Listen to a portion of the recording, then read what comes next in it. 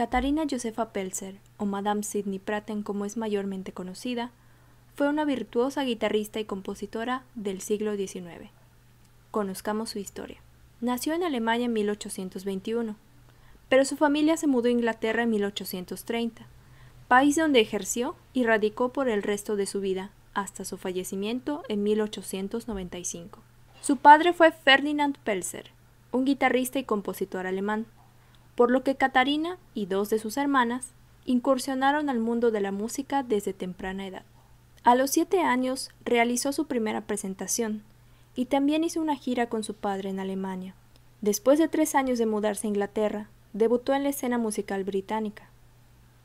El próximo año se presentó a dúo con Giulio Regondi, otro niño prodigio de la guitarra. Se dice que los niños eran tan pequeños que tuvieron que colocarlos sobre una mesa en el escenario para que pudieran notarse. A los 19 años se mudó a Exeter, donde comenzó a ejercer como maestra de guitarra.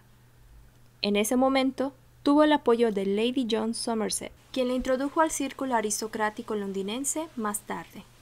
En 1854 se casó con el flautista Robert Sidney Pratten, y a partir de ese entonces fue conocida como Madame Sidney Pratt. Sus actividades profesionales fueron concertista e intérprete de guitarra, concertina y giguelira, maestra de guitarra, compositora e incluso se desempeñó en una editorial que se dedicaba a publicar música para guitarra.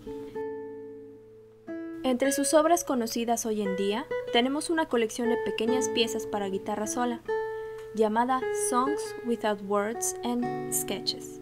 También arreglos de diversas obras para distintas instrumentaciones como guitarra, guitarra y voz, guitarra y piano como acompañamiento de lira y ensambles de hasta cinco guitarras. También publicó obra para la enseñanza, que incluía tanto métodos de otros autores como métodos propios. Su enfoque se centró en el público aficionado, por lo que sus métodos son adredemente más sencillos que los de Sor y Giuliani.